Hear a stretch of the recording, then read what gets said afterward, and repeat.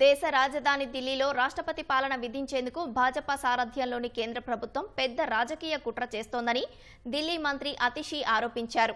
ఆ ప్రభుత్వాన్ని కూలగొట్టే ప్రయత్నాల్లో భాగంగా జరిగిన కేజ్రీవాల్ అరెస్ట్ పెద్ద రాజకీయ కుట్రగా ఆమె అభివర్ణించారు. త్వరలో ఢిల్లీలో రాష్ట్రపతి పాలన విధించనున్నట్లు తమకు విశ్వసనీయ వర్గాల ద్వారా తెలిసిందని అతిషి తెలిపారు. ఢిల్లీలో రాష్ట్రపతి పాలన వి- విధించడం చట్ట విరుద్ధమే కాకుండా ప్రజా తీర్పునకు వ్యతిరేకమన్నారు. అయితే ఢిల్లీ మంత్రి అతిషి వ్యాఖ్యలపై భారతీయ జనతా పార్టీ నేతలు విస్మయం వ్యక్తం చేశారు.